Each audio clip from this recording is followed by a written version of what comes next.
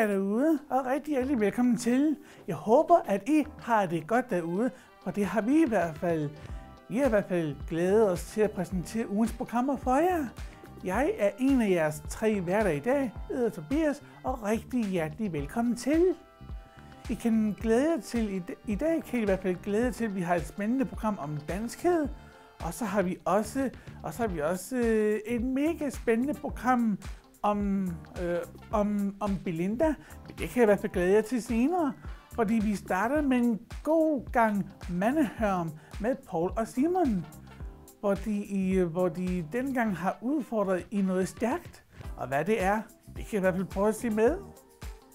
Hej og velkommen til Manaham. I dag har jeg tænkt mig at udfordre Paul med verdens stærkeste lakridspolscher, og de hedder Dead Bite. Og på dansk betyder dødens spil.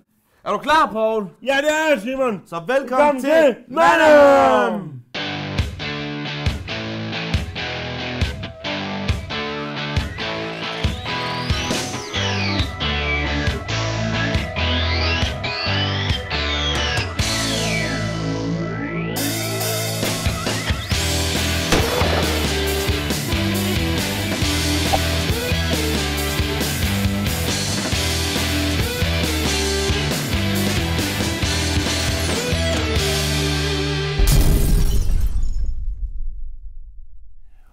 Som I kan se, så har vi rykket et dejligt studie.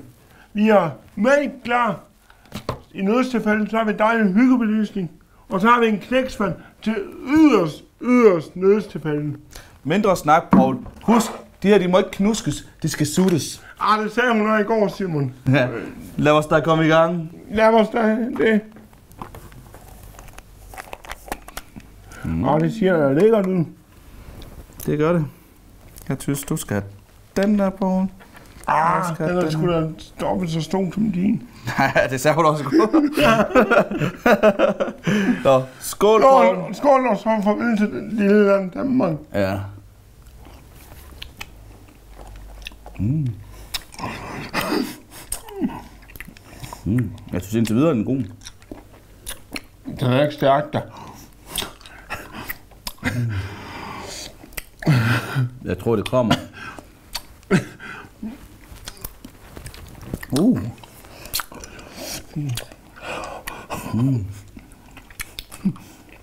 Jeg sutter dejligt i munden, Med de, men jeg suttede ikke i går. de er gode. Men nu begynder det der. Åh, oh, nu kommer den. Den kommer fandme lige sådan.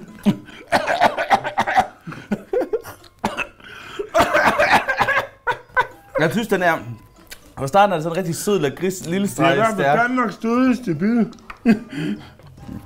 Jeg synes, den er, er faktisk god lige nu. Den er sådan lidt spicy i det. Men du fik også en større end min.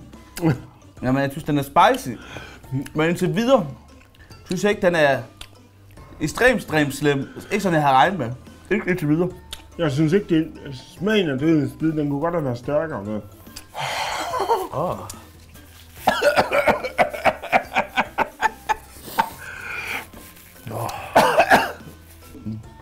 Det er børnehavssmag. Hold kæft, man savler det her. Nej, jeg har ikke savnet det endnu. Nej, men man, man får meget mundvand. Gør du ikke det? Nej. Jeg er næsten frisk på at tage en til. Det er jeg. Skal vi knuse det her stykke her, og så, øh, lige, og så tage et til? Nu ved jeg godt, at vi snakker, om vi ikke må knuse den, men jeg tænker, det lille stykke her, hvis vi tager en til, så må det godt kunne tælle. Ja. Så tænker det er i orden.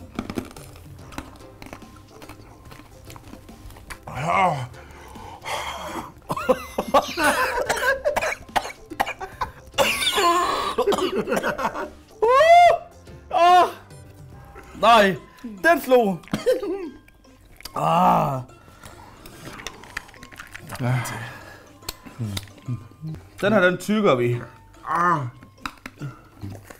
Den var faktisk ikke så slemt, den her. Åh, oh, nu kommer det. Oh, nu kommer det. Åh! Oh, oh.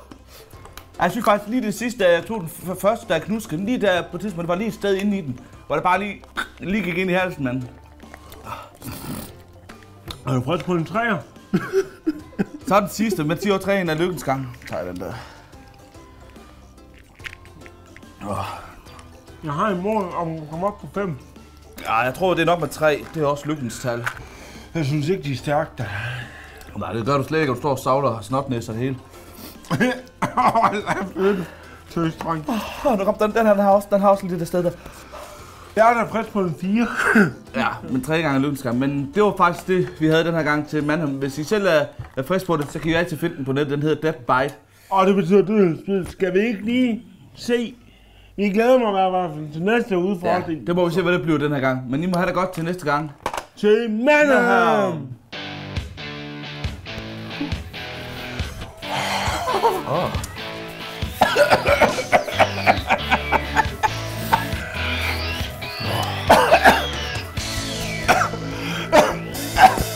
er vi klar til der 100 sekunder. Så til ganen. Ikke fordi det er slemt, men det, det, det er ligesom det sidder på et sted. Cheers. Mm. Ah, så er det ikke så slemt mere. Så er det væk.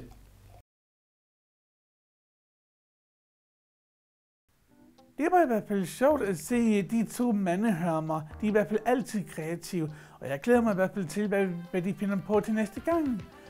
Men nu vil jeg i hvert fald give stafetten videre til min næste medvært. Min muleter snak om dansen. Alle, der bor i Danmark, vil nok sige, at de er danskere. Men det kan godt være, at vi i Sønderland føler os lidt mere danske end i resten af Danmark. For vi har engang været tvunget til at være tyskere. Jeg står her foran en folkehjem i Områ, hvor, hvor folkehjem dannede ramme om genforeningen i 1920.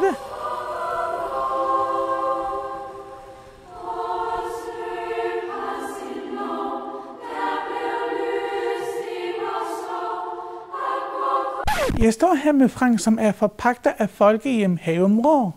Og Frank, hvorfor lige at genforeningen og Folkehjem tit bliver nævnt i den samme sætning? Det er jo fordi, at det er jo et sted med masser af historier med H.P. Hansen, der har været her og holdt mange møder, og han holdt jo talen op på balkongen, og vi har billeder af ham herinde i, i kongen, eller billedsalen her jo. Så derfor har det stor betydning, og det, de to de hænger lidt sammen med genforeningen og 100 års jubilæum i år, så det er jo meget stort for det sønderjyske hernede, og, og hele Danmark for den sags skyld jo så. Det er derfor, vil jeg sige, at de to ting, de hænger går fod hånd i hånd.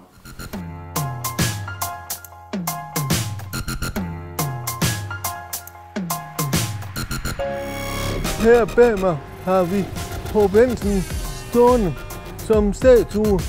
Det er en af Åben Grås vigtige personer, som, som vi kan takke for meget.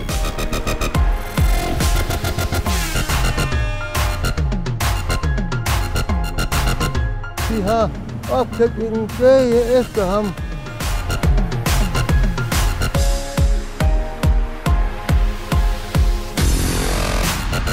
H.P. Hansen flyttede til Åben Rå i 1897. Der har han holdt mange, mange øer med, for, med i den sinde og der har de også fået det sønderjyske kaffekor.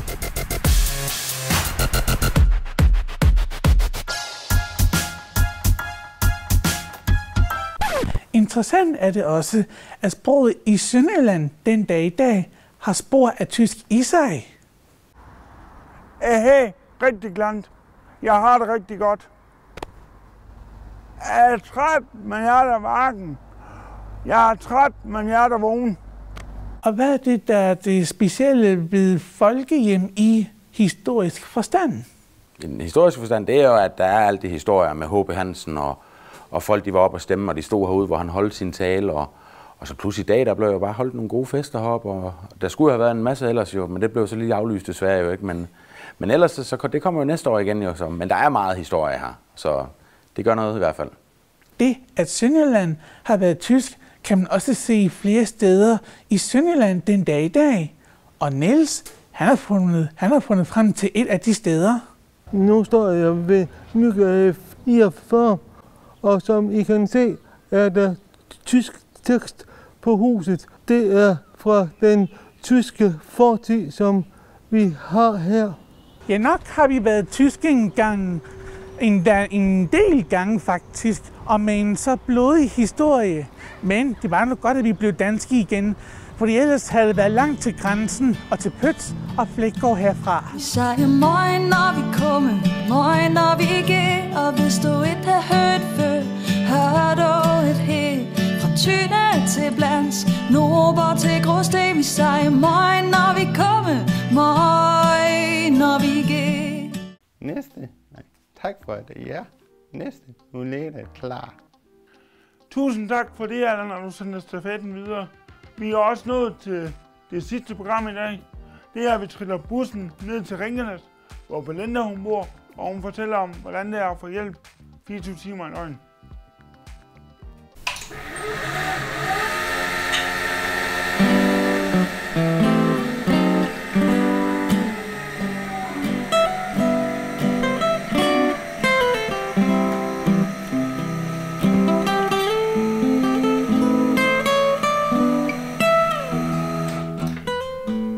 Belinda hun er en glad pige, smilende, frisk og altid med på sjov. Jamen, hun er et utroligt socialt menneske. Øh, virkelig.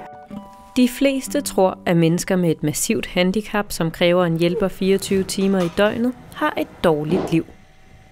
Mange har med lidenhed med dem, ser dem som stakler og ofre, som ikke har et værdigt liv. Men er det en korrekt antagelse? Og hvordan føles den opmærksomhed, man får som handicappet i kørestol? Jeg synes i hvert fald, at det er lidt synd, når de, når de, når de bare kigger på mig. Selvfølgelig er der altid nogen, der kigger, når hun kommer kørende, men det er, det er oftest ikke voksne, det er oftest børn. Og jeg tror ikke, det er nogen fordomme eller noget, de har. De, de er bare nysgerrige på, hvorfor hun ser anderledes ud end andre. De spørger jo mig rigtig mange gange, ej, hvorfor kan du ikke gå og sådan noget? Og så siger jeg, jeg er født med det. Jeg er jo muskelsvind, så det er, det er jeg jo. Jeg er født med det.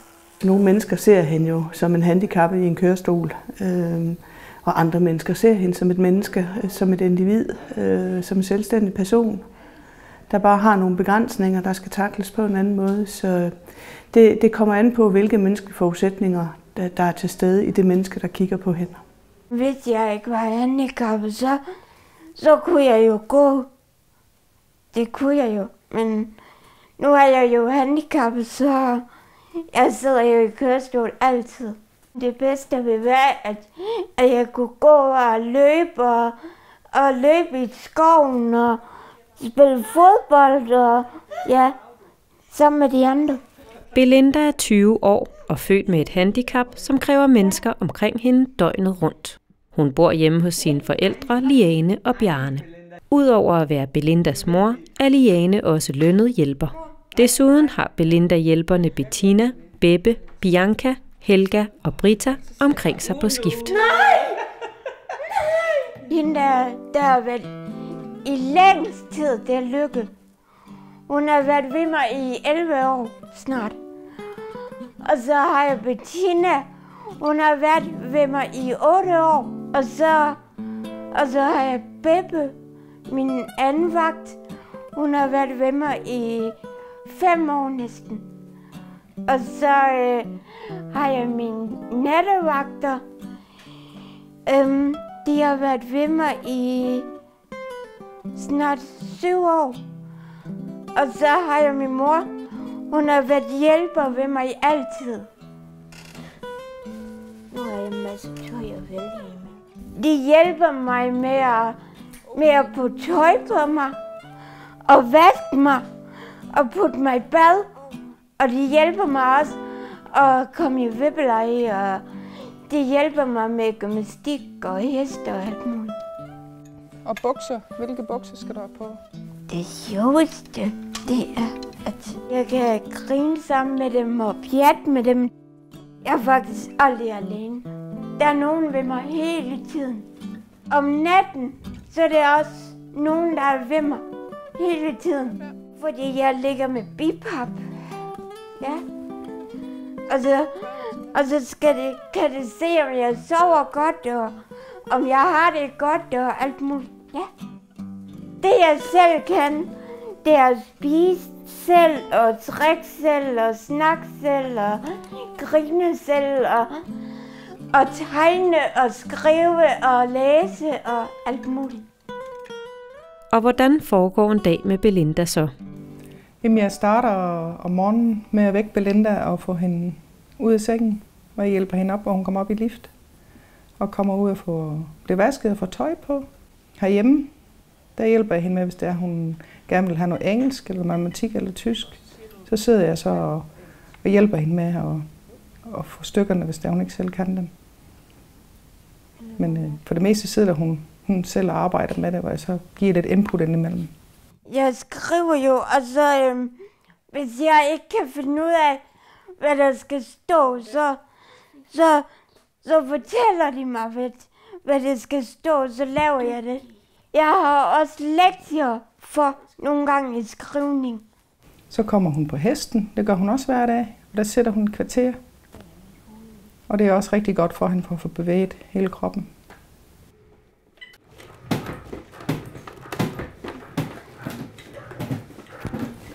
Og så har hun sådan en maskine, hvor hun styrker hendes arme i, hvor hun laver noget gymnastik.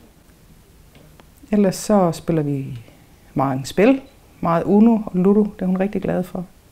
Så det bruger vi også en del tid på. Eller gå ture, det er hun også rigtig glad for. Nej. Men når man er afhængig af hjælpere døgnet rundt og får et tæt forhold til dem, kan det være svært, når hjælperne skal videre til andre jobs eller videre i uddannelse. Når de finder et nyt job og, og ikke vil være med, være med mig mere. Og så, det blev jeg faktisk rigtig ked af det over. Det er træls. Altså når en hjælper sig op ved Belinda, så, så er der nogle ting, der gør hende ked af det. Øh, og, og, og grund til, at det gør hende ked af det, det er fordi, at hjælperne er ved hende i mange år. Øh, altså den, der har været her i kortest tid, har faktisk været her i seks år. Øh, så, så, så Belinda, hun er et menneske, der lukker op, øh, og hun får også hendes hjælper til at lukke sig op som menneske. Så tit og ofte er de ikke kun hjælpere, øh, de er et menneske tæt på Belinda. Øh, og de kører meget øh, parløb, øh, forstår hinanden, integrerer med hinanden øh, og har en særlig måde at kommunikere på. Belinda er i det hele taget meget populær, uanset hvor hun befinder sig i verden. Socialt er Belinda er en dejlig pige. Hun er altid åben, og hun elsker at være sammen med andre mennesker. Hun er, kan godt være lidt generet i starten, og vil gerne have lidt hjælp til at komme ind og snakke med nye mennesker. Men øh, når hun så lærte dem at kende, så, så opsøger hun dem selv. Jeg er også i praktik på TV Glad i Åben Rå, så det kan jeg godt lide. Jeg er ved at tilrettelægge øh, Belinda beretter, og så bagefter skal jeg ind i studiet og optage.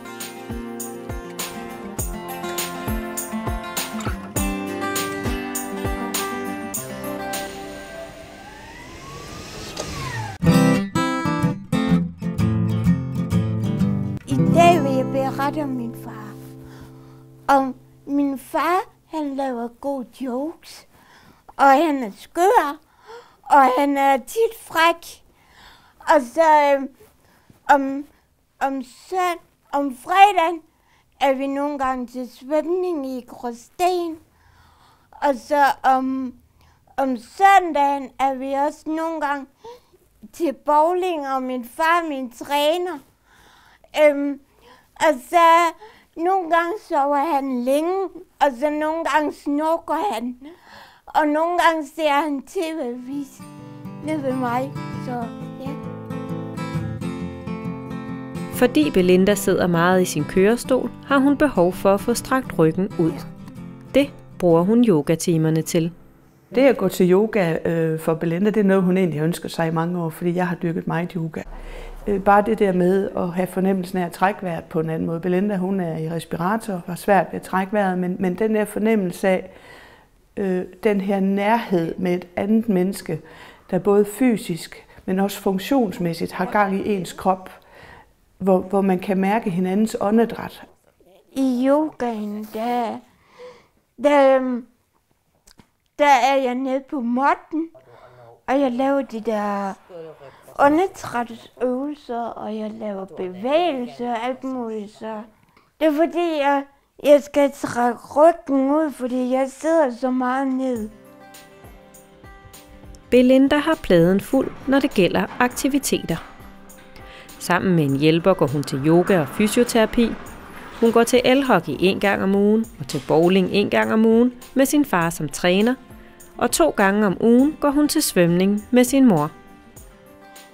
Til svømningen, der, der, der bliver jeg liftet. Og så kommer jeg ned i vandet, og så svømmer min mor med mig.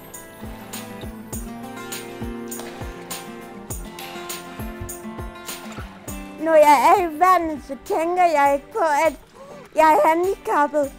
Jeg føler mig bare fri.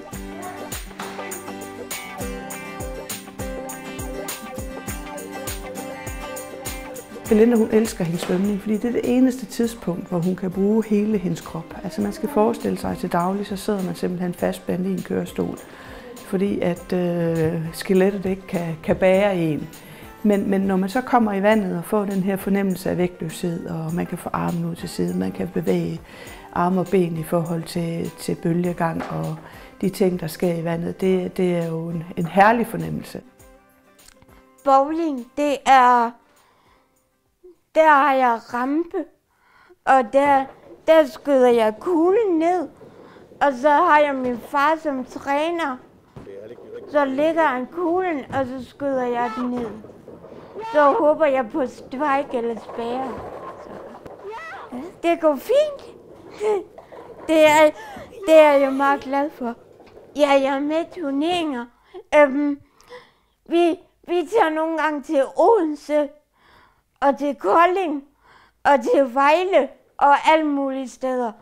Så jeg er med i turneringen til, i bowling. Jeg har vundet en medalje og præmie og alt muligt. I Belindas verden findes også kæresten Erik. Han har også et handicap, men sidder ikke i kørestol. De har været kærester i 8 år, men hvordan blev de kærester? Vi blev kærester, da vi var i folkeskolen. Da vi, da vi gik i klasse sammen. Så, øh, så, spurgte han, så spurgte han faktisk mig, om vi ikke skulle være venner sammen. Og så sagde jeg, jo, det kan vi godt. Og så, og så kom han lidt efter, skal vi, og så kom han lidt efter, og så sagde han, ej, skal vi ikke være kærester? Så sagde jeg, jo, det kan vi godt. Hun er rigtig glad for ham, og han er rigtig glad for hende. Og så er man heller ikke anderledes, fordi man sidder i kørestol. Så kan man også godt have en kæreste. Han er sjov, og vi kan fortælle nogle vittigheder sammen, og vi griner sammen. Og... Altså, det, det betyder for Belinda at have en kæreste, det er mest af alt tryghed. At hun har en, hun kan kommunikere med øh, på et andet niveau end andre. Øhm, og de er jo ikke kæreste i den måde, vi forstår ved, at 20-årige mennesker er kærester.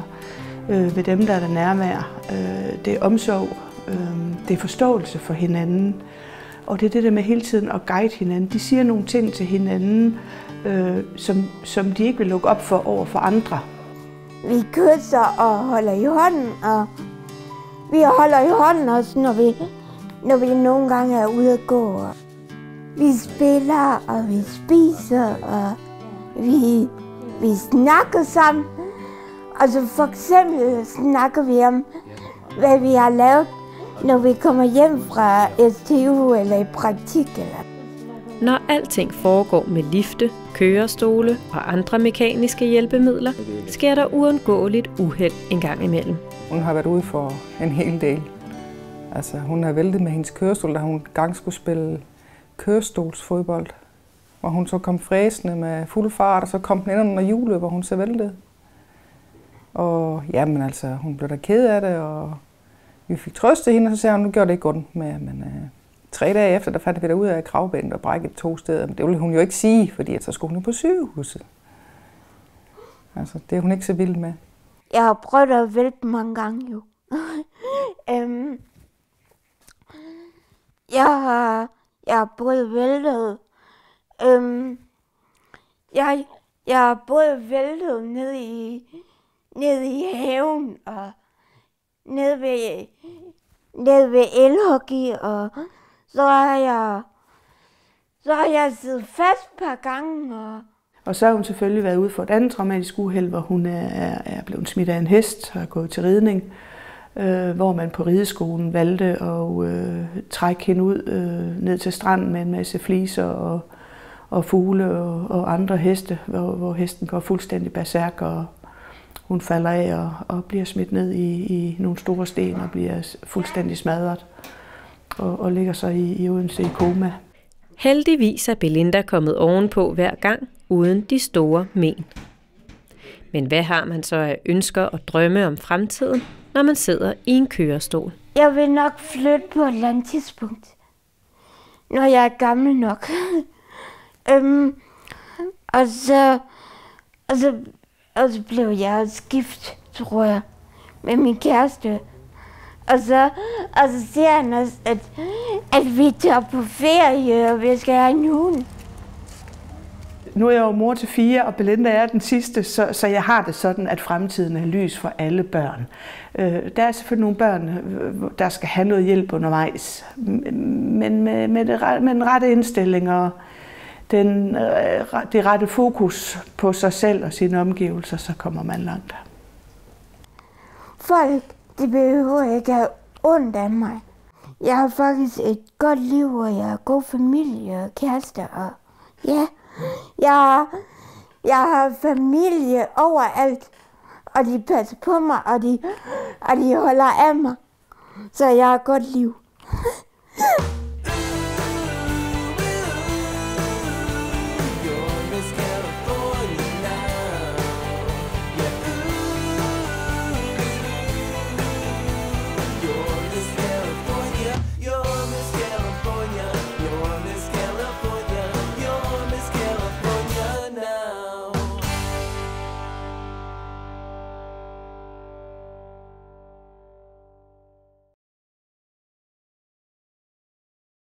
Sikke et dejligt indslag med Belinda og hjælperne.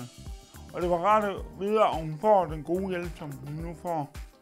Tusind tak til alle de medvirkende, og tak til mine gode medværter, som har præsenteret ugens indslag. Se med i næste uge, hvor vi har flere spændende overraskelser, som du kan glæde dig til. Ha' det godt derude, til vi ses.